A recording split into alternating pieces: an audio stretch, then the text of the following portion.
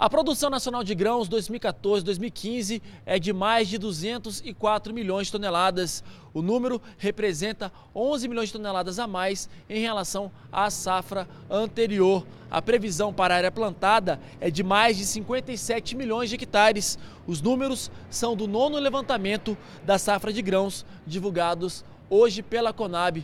Todas as informações estão disponíveis na internet.